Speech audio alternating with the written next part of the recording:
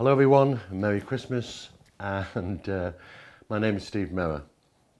Now I want to first off by saying thank you to Dave Hodgin for putting tonight's uh, bits together. Um, unfortunately I apologise for not being here in person. Um, I've got mountains of work regarding some um, video production stuff that I'm doing at the moment so uh, unfortunately I wouldn't have been able to make it. Uh, however, I did say to Dave that after showing uh, the video tonight that I would actually do some type of kind of roundup of what has actually taken place because it is a bit of a long and twisted story. Well, first off, I have to do this kind of chronologically, so do please bear with me. First off, back maybe five, six years back, somebody contacted us called the Inkari Institute and asked us if we would be the official investigation team in regarding the discovery of these strange bodies in Peru. How did that come about? Well, the individuals had sought out the right people, tried to find uh, the right people to the right job. And we had been previously involved in something referred to as the Montauk Monster, washed up on Montauk Beach in the US.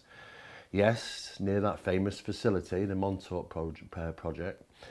And uh, there was an international press went all crazy on this, saying it was some type of strange, deformed creature couldn't be identified. Um, and we conducted the investigation on that and turned out to be a skinless raccoon, which had been in the water for such a long time in the sea that it bloated and it lost its hair. And in fact, its unusual face features had almost lost. Um, and the bone structure made it look like it had a bit of a beak. So you can imagine well, these original photographs that were taken by somebody that discovered this strange thing on this shore um, thought it was something really strange and of course the press went to town on it like they do. Anyway, we resolved that problem. That was easily sorted. Didn't take too long to, um, to conclude what, what it actually was. On the back of that, though, um, we've been uh, done a lot of work with the media. So I guess this is the reasons why the Inkari Institute kind of picked out myself and my fellow researcher Barry Fitzgerald, who we've done a lot of work with over the years, um, got involved.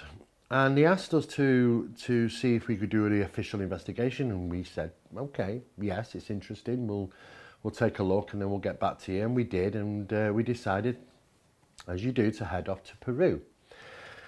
Um, and when we first got there, we were taken to a location out in the middle of nowhere, up on the mountains. So now Peru's a difficult place to, to visit if you're not used to it because of the climate. I mean, it's just so it's so high in altitude there. You end up with altitude sickness. So every morning was a kind of a routine for us because we weren't used to it. Is getting up and vomiting, to be honest with you. And it was pretty difficult under those conditions to conduct a thorough investigation, but we plodded through. Um, I have to give it, let you know that Peru is a place where there's a lot of corruption and there's a lot, a huge divide between those that are wealthy and those that are poor. And it is problematic because there's a lot of crime that takes place because people just simply want to get more money or being able to survive from day to day. And that does involve ancient artifacts. I mean, Peru have been losing their heritage sold on the black market for many, many years. And the government have tried their best to lock down on this, but it's a growing problem, as you can, as you can imagine. Digging up these bones and finding things is usually done by these grave robbers, which are referred to as huaqueros. Now, we were taken to this location, and it was all very sus, to be honest with you. Um, a car was sent for us. We were uh, we weren't allowed to know where we were going. We weren't allowed to do really any communication. The only time we, were, we, we really did manage to get any pieces of video footage was sneaky. Very Bean's very sneaky. And we eventually got to this warehouse and it looked like just an old run down warehouse, rubbish outside, couple of dogs scrapping out on the front. It was just not a very nice place, but when you go in there, there was a section of this. It literally turned, been turned into some type of laboratory. It was very unusual. And uh, they were clearly must have been huaqueros. I mean, they, they had guns. they had guns. You can, can you imagine what, you know, what we were thinking, myself and Barry? God, you know, are we going to walk away from here? But, do you know what? Despite what we were being told, um, we examined the bodies and we still, even at that point, We were a little unsure what was what. Uh, clearly identified some fakes, but we really did. The main thing was what is Maria? This is a large body um, in a in a crouching position, uh, known to have three fingers and three toes. And she was the the one we really wanted to check out. We knew the other ones were a little bit dodgy right from the start, dolls, in fact, in a sense of speaking. Um, and we were shown Maria eventually, and we, you know what, we looked through numerous different ones, right from the smallest to, to right up to Maria, who was unfortunately just kept in a cupboard and brought out in a in a case and lifted out and put on in front of us. It was very poor conditions to be keeping things like that, especially in an area of, of the Cusco Mountains. And uh, we looked over the bodies and we realised that some of these things were very, very dodgy. Uh, and we said it as it is, even though that there were guys there with guns. I mean, do you know what? It is what it is at the end of the day, and we decided to say what we wanted to say, and we had to, you know, because we we needed to be thorough. Anyway, um, what happened was that that wasn't the first time we went. The second time we went, we needed to get gather samples. We had a laboratory that was working with us in Sri Lanka and of course, Sri Lanka is an unusual place to visit as well. Uh, but it does give you the option to be able to ride an elephant, and that's an experience, I'll certainly tell you. Um, but nevertheless, we had to take another trip, and um, we had to find out for sure what was actually going on.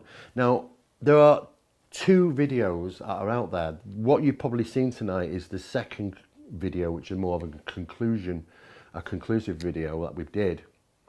Now, the first one, which is called um, Alien Mummies of Peru, I didn't title it, I'm very sorry. Um, and it's on a wait, it's on a Amazon and a number of other platforms, I believe. And you can watch that. And it is interesting. It shows you, you know, right from the beginning through the process of our investigation and, and the problems that we faced whilst we were there, including dealing with the press and other researchers, which seemingly were hyping things up and didn't quite add up. And when we were conducting our investigation, it didn't take us too long to realise that some of the doctors, when they say, I'm a doctor, we naturally think of you know medical science or something like that, you know. But some of these guys were um, X-ray guys or dentists and, and stuff. It was just like, well, that's very vague and done purposely. What's going on here? And researchers involved, um, such as Jaime Maussan, no names mentioned, um, who's got a past record of being involved in a number of dodgy things, um, was, was highly involved in this. And we, we wanted to make sure that, you know, when we realised what was going on is to put this to bed. And, uh, and we thought we had done, to be honest with you. Now, when you watch that first video, it'll go through the process of our, investigation up to that point in time. Now, there were samples and they were taken and they were analysed um, by our, our laboratory. And these guys in, in Sri Lanka uh, work with the police forces and the kind of the FBI and that sort of thing. Um, so they knew exactly how to conduct these tests. Of course, it's an expensive procedure and it's a lengthy, it takes a long time as well. And, you know, these things don't happen overnight. And the amount of international press that jumped on myself and Barry being the official investigators of this, um, were demanding, we need to know, what, what do you know, what do you know? And we thought, okay, with so much demand, um, we will give out this information in the US. And we were invited to contact in the desert, myself and Barry, where we provided a thorough uh, presentation of what we knew up to that time, which is very important. And I have to admit, there were some anomalies, there were some unusual things, and we didn't know what Maria, um, this largest body, really represented. Something didn't add up, but we didn't really know what, what was going on. Um, at that time, the laboratory was saying, well, there might be some very unusual things here because they're trying to work out, working on the DNA analysis, actually, what is this thing? Is it even human? Uh, and at that time, there was lots of question marks and that's all we could deliver at the time. So of course, if you watch that first documentary, it doesn't really conclude. You're left thinking this might actually be something quite profound with Maria at the end of this documentary. And that's only because of what we knew at that time. We were pressed to deliver information on an international basis. However, when we did a second trip and further tests were carried out and samples taken certain parts of bodies where we needed to really find out what was going on in the DNA. These areas were off limits. You, you know to everybody nobody was allowed to take samples from fingers and things like that. Um, it was like oh don't touch them and da da da da da. And I thought to myself well there's only one way to really conclude what Maria is and that's to get these samples from these specific locations which have been requested by the laboratory to where to be taken from.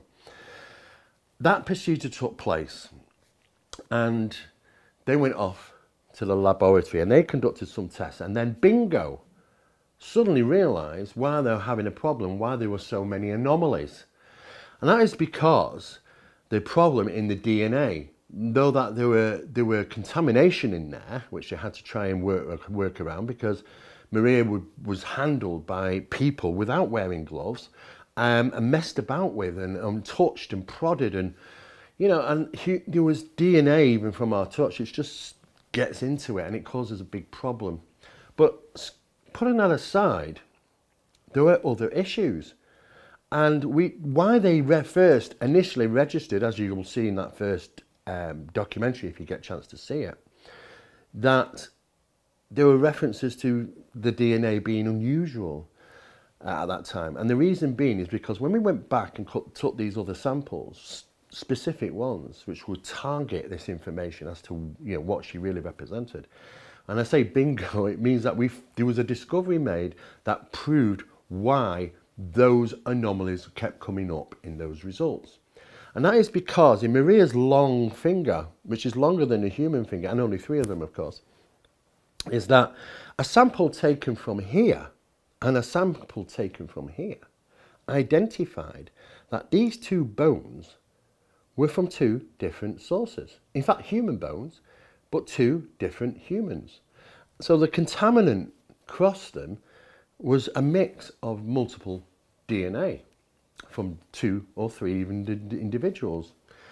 Uh, and that caused a massive, massive problem. Um, when that was discovered, we realised very quickly what was going on here, that Maria had been completely manipulated. And various different human bones had been used to create those long fingers. And on further investigation, once we were armed with this knowledge, we, we could see where the thumb had been taken off, the rear, the rear finger had been taken off, the small finger, uh, the extension, um, how the eyes had been cored out, made them larger and filled up with di diatomaceous earth. Uh, the whole body is covered in white diatomaceous earth, and you can get diatomaceous earth. It's easy. I mean, in places in, in Peru, you can just go and dig it up, and you apply it like a like a like a, a filler, like a cement over and it covers all those sins, all those things that you think, okay, well, there's a mark there, it shows that obviously something's been cut off. Let's cover it over the diatomaceous earth. And it was hiding loads and loads of problems, evidence that she'd been manipulated. And there were numerous things in her that had been manipulated the hands, the feet, the head, the eyes. Um, and clearly, she was a real human being who was, I mean, the pose she sat in, in this crouching position, fetal position, is the process of when burials take place, you know, ancient times in Peru. Um, and they would be placed into the ground in this position. Um, eventually, she was dug up by Huaqueros and, uh, and manipulated and tried to turn into some type of alien creature. And of course, boom, the world went mad on it. You know, the whole world picks up on it, wanted answers.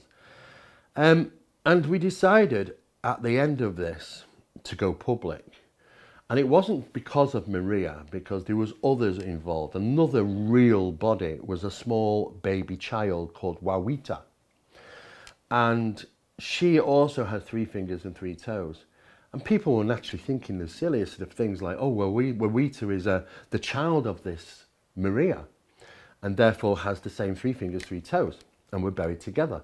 None of that, none of that is true. And when looking at this, you could see that even where Wawita had been manipulated.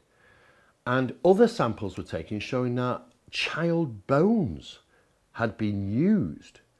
So Huaqueros were having people and themselves dig up these bones from graves and utilizing them to manufacture these doll type creatures, uh, even bodies, and cutting them up, make them different. There were two taxidermists involved. We found them and we knew where they were. They were in Palpa, working on them. In fact, they were working on another male, another Maria. In fact, this time a male. And they were all, already almost ready to release another one. We found out because we had guys on the ground working with us and they'd done some fantastic work for us. Um, but we wanted to try and find out what the hell is going on here. And it's a really dark and sinister story because Maria was on, for sale on the black market for a million dollars. The small fake doll ones, which are maybe about 12, 20, uh, 24 to 36 inches long, there are several of them in various positions, which had been messed with. Um, and they were just generally creations. They were never anything real even then we're like up from thirty to fifty thousand dollars. You know, it was just crazy, and it was about all about money scam, money making. The Peruvian government were in search of these bodies. Now, myself and Barry knew where they were at that time. We met up with uh, somebody who worked at the government, and they we interviewed her, and you'll see that in the first episode, the first documentary um, and was telling us how big a problem it is regarding these things happening and going onto the black market. It's very, very difficult to deal with. It happens a lot. Uh, and there's a lot of forgery and faking going on as well. Now, nine times out of ten, if you see something on the internet regarding, oh, well, it's from Peru, it's usually fake, to be honest with you. Very likely to be untrue. Uh, so there's a word of warning before you dip your hand into your pocket to think you're buying an ancient artifact. Um, you can go onto Lima Market and find them there get them pretty cheap actually. Uh, but nevertheless, one of the biggest problems for us is that we, we, we felt that we had a responsibility to let the government know. So we did share that information with the government, but then they were moving the bodies around from different locations. Um, an organisation known as Gaia um, had heard about this, and we were also conducting some research and interviewing. This is when Jaime Maussan got involved. And I was shocked to see that Maria in a video was on the top of a roof in Cusco. And I know where that is, that roof is. Um, and it's not far, should we say, from the Inkari Institute. And she was open to the elements. I mean, this is an ancient body at the core of it. In a climate, which is humidity, it's just, she was starting to deteriorate quite quickly. And then on the, you can see them prodding and touching Maria on a rooftop in the open day. This is this should have been done in a laboratory under special conditions. Nothing scientific was about this. And then they had these dodgy doctors that came in, which we also interviewed some of them during this first documentary, um, uh, and to find out what they thought. And they were all very dodgy, to be honest with you. And um, we realised what was going on. It's a scam. In fact, there was a huge amount of hype at the time we were there. Jaime Maussan uh, and his doctors and crew had managed to put an event together in Lima and was going out to the national press. And we attended that, and there were cameras all over the place from all these different countries filming it. And I think, isn't it all this hype, you know? And uh, he was heavily involved. And in fact, he was even involved in saying that these smaller ones, 24 to 36 inches in length, were living creatures and stories of them being seen in a cave. And, in, and when we found them in this cave in Nazca, there didn't, was nothing in Nazca, it wasn't found in Nazca, um, that there was artifacts, uh, ancient artifacts, alien technology, um, uh, these smaller ones were seen and running away under in small tunnels. There was just all this crap, to be honest, crap that was being thrown out there. And the press were feeding on it like a frenzy. And of course, once we realised what was going on, we decided to go public. And uh, and when we, once myself and Barry went public, um, a huge amount of interest from the press came on us, and uh, we told our story and what we thought what was what. And we had people contacting us researchers, those that are involved, screaming down the phone at us, you're going to ruin my career, da da da da da. And we, you know, this is very problematic for people like myself and Barry because we might be invited to events and we have to lecture alongside these people. It's crazy. What the hell is going on in this subject? We thought. But we decided to do the job. We were called in. What the Inkari Institute didn't realise is that they were thinking that we were going to support them. No. We decided to support the truth. If you did want anything dodgy, they picked the wrong guys. Myself and Barry always are, are known for saying for what it is. Exactly. Um, and we don't hide anything. We put it straight out. If it's something dodgy, it's something dodgy. If there's truth to it, then we say, okay, well, there's something unusual going on. It's always been the way with myself and Barry. They picked the wrong two guys because when we realised what was happening, um, they almost became, in a way, attacking the research and what we were doing. Uh, a purpose act. They'd even employ people to, to hound us, uh, to try and spread information about you know, that everything that we were putting out was fake. Now, we also had death threats. You know, people said, don't ever come back to, to, to uh, Peru. Uh, otherwise, you'll find yourself shot, dead, buried in the desert, and nobody will ever find you. I believed they were being truthful.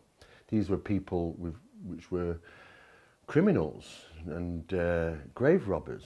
And it goes up the chain surprisingly, when you do the research, it becomes very sinister because you realise some of these people might even be in association to people at high levels in the government that are getting backhanders from discoveries found out there in the deserts in, with, when digging up these ancient bodies and finding gold and artifacts and things like that. It's so, so bad. But what you've seen tonight is the second video and we didn't put that out for a long time and the reason we weren't planning to put that out because we thought well if we put this out then it attacks those other people that are involved in this research people that we know um, and did we really want to cause a ruckus? We'd already known what was going on by now and we already put out our conclusion but we never put out the video. And of course, what happened was we'd done our job, we'd we thoroughly done our job over a period of say three years, a lot of work, a lot of expense, uh, which was uh, what we paid for ourselves, never earned a penny from this, uh, all done in the name of research. And what happened was we, like I say, we got threats and we were in no plans to go back to Peru, as you can imagine um, not until things calmed down. And we put so much of the, the right information out, then it seemed it died a death. And um, the stories faded away. Knowing that the government were still trying to find these bodies, we heard that eventually um, they, they relinquished them to the government. Um, well, Maria and Wawita at least, the other ones are dolls, and the government knew that. Uh, but the general public was still being fooled around the world. And uh, they moved Maria to a museum in, in Ica, where she is, I believe, today. Thank heavens she's not messed about with, because then when we used to go and see her the second time, it was like she'd had a makeover. I mean, she was deteriorating, so they, they had to do a makeover of her again, make her look good for the other people coming out and taking photographs and filming, especially news channels and reporters. Um, but it was no surprise to me that they were all trying to gain money.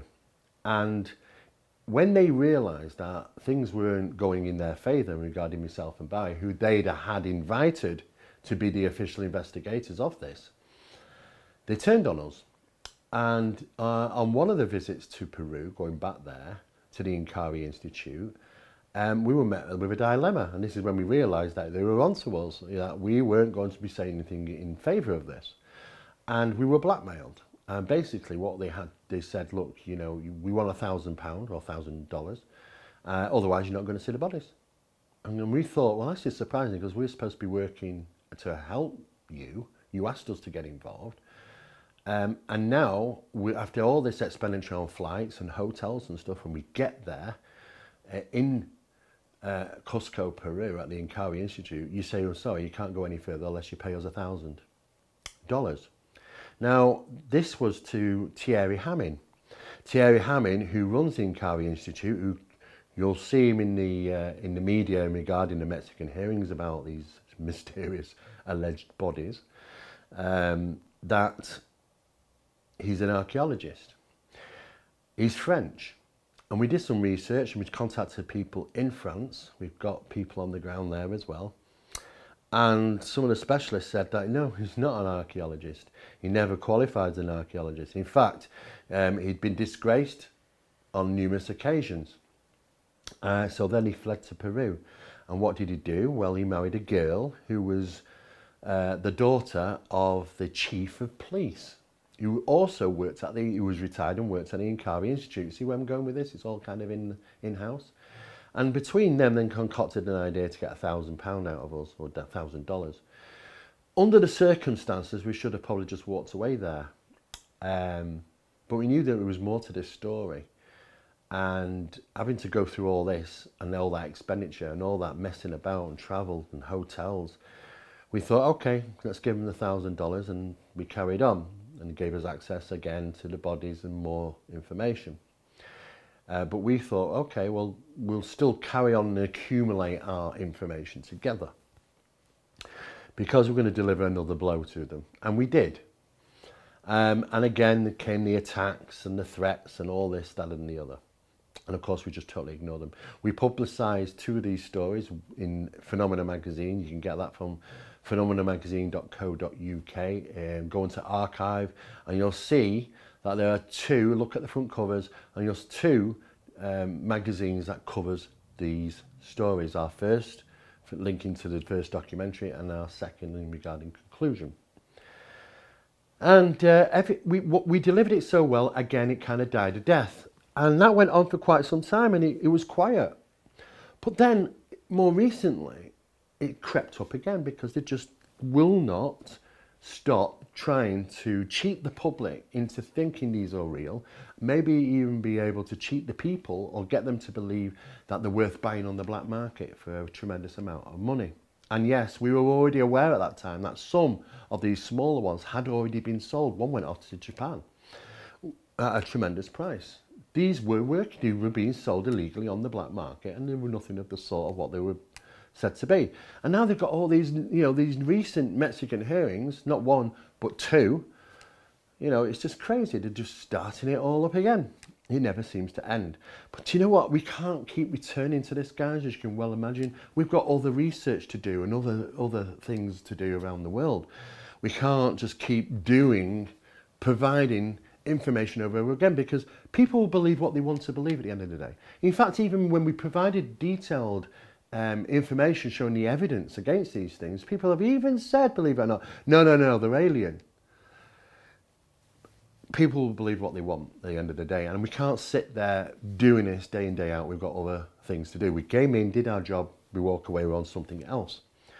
But because there was so much impact of this first Mexican hearing and the press reaching out and people reaching out asking questions, we ended up in discussions and myself and Barry decided, okay, it is now time to release the second episode. And we did. And this is probably the one you've seen tonight. Now, as you can imagine, you know, it was a difficult investigation, probably the most difficult investigation uh, myself and Barry's ever been involved in. Because when you realise that there are people that go out and dig up remains, imagine going to a family grave, um, a cemetery, to visit, you know, a relative that's passed away, and you get there and you're horrified to find out that they've been there's a hole there, they've been exhumed and taken away. You know, can you imagine that? But what if it's even children? You know, it's happening with ch children bodies. And we actually even investigated and got, because we had people on the ground in Peru helping us, um, the Huaqueros were paying people to go out there who were very poor, to go out there and collect samples and dig these things up. And we managed to get hold of one of these guys and interviewed him, and he, he whistleblown exactly what was going on. But these guys are dangerous, these Huaqueros, and you know, they, they've been involved in numerous things, including allegedly um, people have gone missing or been shot and so on and so forth. So you don't mess about with these guys. And um, we'd, like I say, we'd uh, had our death threats, myself and Barry. So, um, yeah, it's very, very difficult. But what happened then was um, we decided to put this second documentary out, and this is the one you've seen. And you can imagine trying to deal with this and finding the horrific news about children being dug up and cut apart and messed with and added to other bodies and manipulated. And for what? For greed, for money, and the loss of the heritage regarding artifacts for Peru. is just terrible. And having to work at that, and it was very upsetting. And it is still very upsetting. I can't even describe how I felt at that time doing that documentary. It was very challenging. Uh, and you can see in that episode that you probably did that second documentary that you've just watched, which we, we released over YouTube, that um, you know it was it was hard and it was upsetting at times. And I just pleaded to people to please, you know, put the story straight don't let the media run away with it. Let the media know, you know, because it's only because of the media interest and the huge media interest with all these papers saying, oh, they're aliens and this, that, and the other, that people are daft enough on the black market to buy them. They're thinking, oh, there's something special about them, I'm going to buy them on the black market.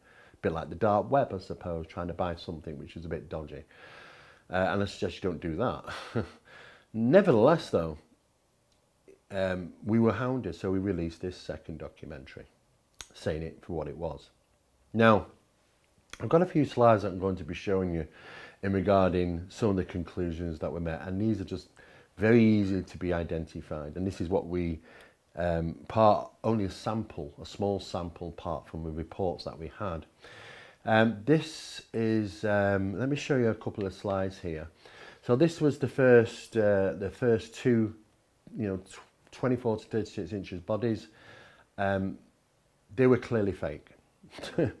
now, there've been even videos created by people like Jaime Maussan knew of these things animated and walking around to demonstrate how they must have moved. Well, these guys didn't even have ball joints. They couldn't have been moved. there was nothing living about these creatures. The dolls uh, are made up of animal bones and children bones and all sorts of different things. Um, and made it probably a taxidermist or something like that. And he'd use real skin across them, animal skin, um, hairs from, you know, um, the skin from um, dogs, Peruvian dogs. Uh, and when you easily found in certain places and used to manufacture these, maybe a taxidermist put these together, I believe so. You can see me, my puzzled face there. I'm thinking, what the hell have I got myself into? and you can see this, the skin marks. Now, they, they tried to even, but I even saw newspapers that were saying this is reptilian skin. It's another twist in the story to say, you know, alien reptilian beings of some sort that live underground. I mean, you know, um, you have to look at these and say, okay, fair enough, I get where you're going at. But this isn't. This is is dog skin. That patterning effect that you can see isn't the actual skin at all it's uh, they had a wrapping around it, which was um, uh, like a blanket, and um, that when they pulled it off, that's how it left the effect across the diatomaceous earth applied to the body. The first one that they brought out was this little chappie. He was about a foot long, and uh, first thing I shouted out, and Barry was like, "What the hell?" Uh, is when I was taken in there was, um, "Well, this is a fish head." There's a head of a fish on the top of this body. What's going on? And Barry's like looking at me, going, "Oh my God, you know, what are, what are we getting ourselves into here?" Um, and it was. It clearly was. Other things that were shown, you know, um, hands, very large three-fingered hands, with some of them had discs on, on them, some of them didn't. Some of them were a complete mixed match of various different bones. Uh, this is the one, the three, the three-fingered long, it's about this big, this hand, uh, made up of real human bones, manufactured, but this copperish brass disc on the surface of this uh, hand was made from the same material as these copper jars, which you also can find in Peru. Um, and it's as if it's just been applied to the actual hand. Nothing unusual there. And you can see again here the same sort of effect. Then his poor little Wawita, who was a real body, who was manipulated and cut up and manufactured, and it was heartbreaking to realise what was going on. Uh, and of course, Maria. Um, there was Maria and Wawita, which were the only two living uh, creatures. Now, this being this is Wawita, hair sample, which you can take a sample of there, and cloth sample on the back there. Um, and uh, these scientists were instructed to take uh, these samples.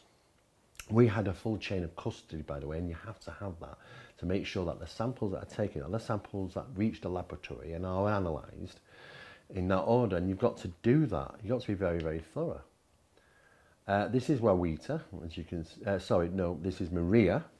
Uh, three long fingers, three long toes, uh, completely manipulated human body that was dug up from the ground. And she's about 2,000 years old, to be honest with you. You see there samples which were taken, skin on the hand sample, skin on the foot sample, powder sample, deep bone tissue samples. Okay. And this is Wawita's foot, and we can see the where the actual toes have been cut off, leaving only three toes behind. Such a shame. Uh, but the evidence was there. And these were also fake. There were plenty of these small 24 to 36 inch bodies. Um, and they were making them regularly. This is another three that popped up on the scene. Uh, I called them, nicknamed them Huey, Dewey and Louie. Quick off the, uh, off the manufacturing table into being sold on the black market. Um, but when you do the research, and people have been involved in this as well, so we're not the only ones out there, that you find that, well, ball joints aren't used. One of the bones is turned the wrong way round. You know, it's just completely manufactured and trying to be passed off as real living creatures at some time. Like I say, these things are just like dolls. They've not got no ball joints, they've got no uh, ways of eating, breathing, so on and so forth. There's just could not ever been a living creature. We also saw one of them, which apparently Sidney said, and according to the news, had carrying uh, was carrying eggs inside this reptilian underground alien being, which is about 24 to 36 inches tall, uh, was somehow carrying eggs inside. Well, these aren't eggs. I mean, God knows what they are. They could be M&Ms, all I know. Um, but they're definitely not eggs. And there's a slight little bulge there where they, they've placed them inside on the body. Now, when x-raying eggs, I mean, you can just see at the bottom here, eggs are, you know, on an x-ray, this is a reptilian as well, this is a, a, a tortoise, um, you can see the eggs are transparent. When x-raying eggs, eggs are transparent and always tend to be roughly the same size and shape. Not like this, which are like different sizes, different round ones, oval, oval ones, but you, there's a, maybe the little stones or something, but uh, in not eggs. So we've, we've proven that. Um, this is an animation to the right hand side that you know that Jaime Maussan was involved with with people, showing how these things moved as if they were a living being, promote that they were a living. Didn't have any ball joints. Look, look at this creature here. Look at the left. Where's its ball joint? Got any, has it? A poor thing could have never even moved. Yeah, terrible. Um, and there was quite a few skulls of these small ones as well. Um, again, completely manufactured. And we realised what they actually were. They were the heads of, of dogs and lemurs. They used two different. Sorry, dogs and llamas. Um, or pal, uh, alpacas, should we say. There's the right word. Alpacas, and there are plenty of them in Peru. Um, and dogs.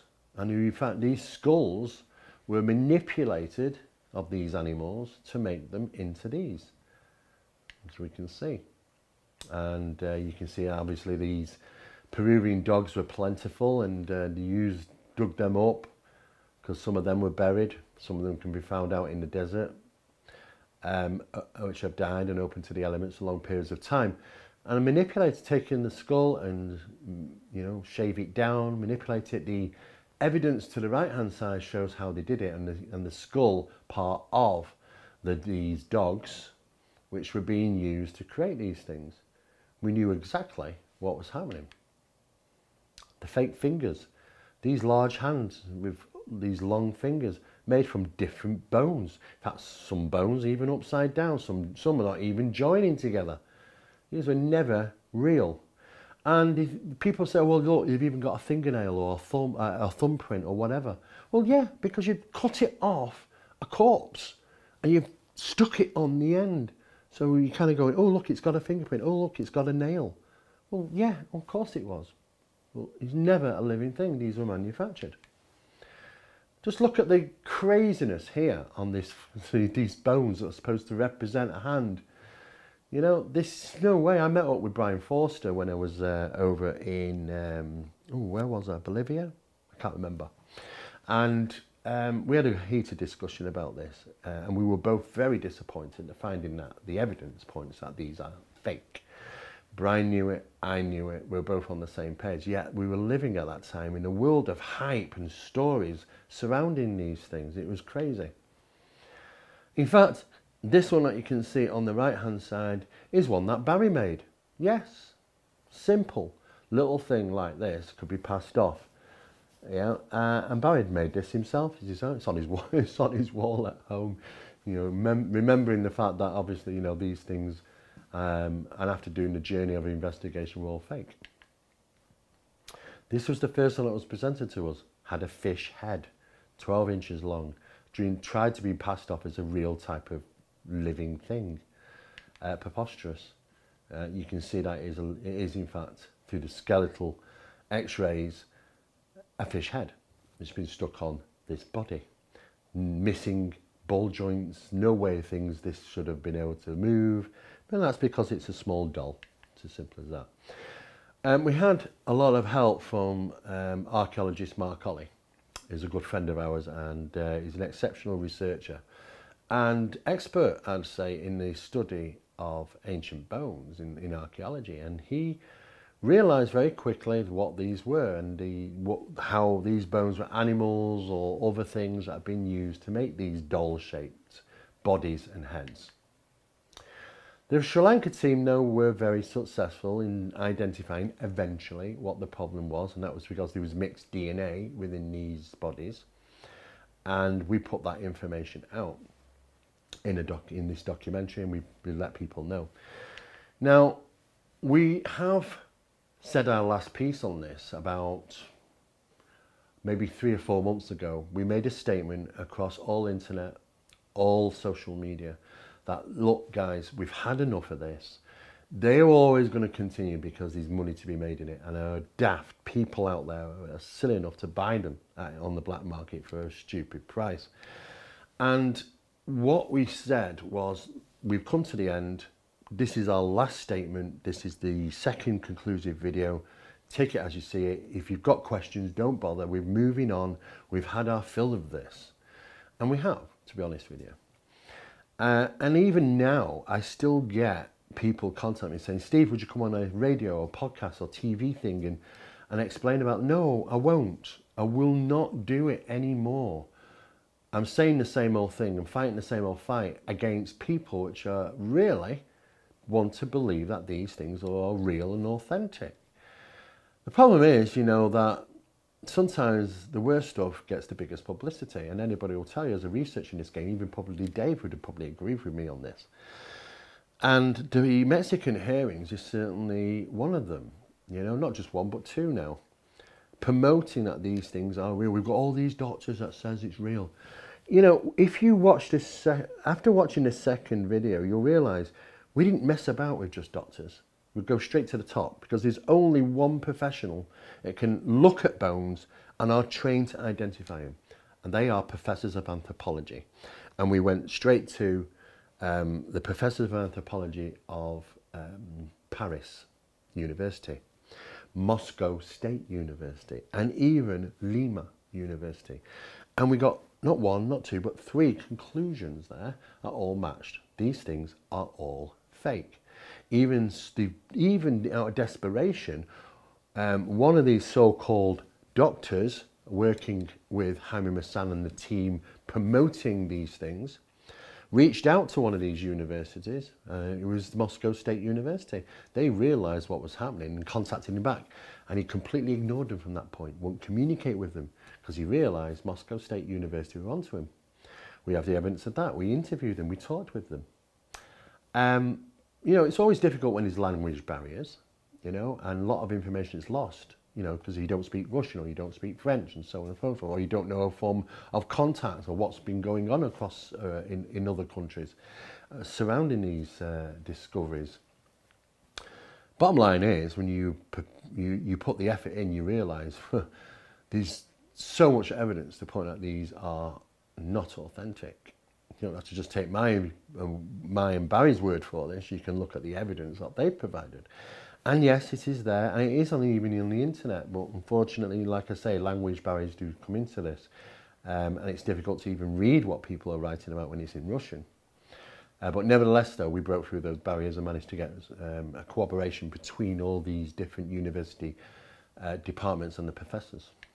So, at this time, it's still being pushed out.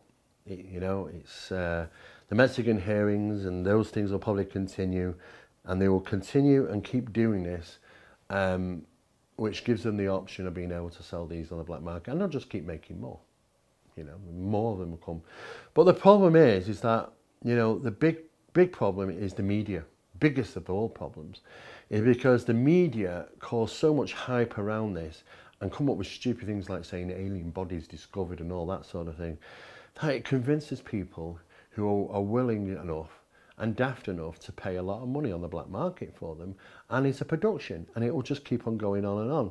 Unfortunately, there are people out there like Thierry Jamin um, and numerous other people at the Inkari Institute, including Huaqueros and those that are collecting these items on behalf of Huaqueros, um, and Jaime Maussan, that could benefit deeply from this, you know, certainly financially.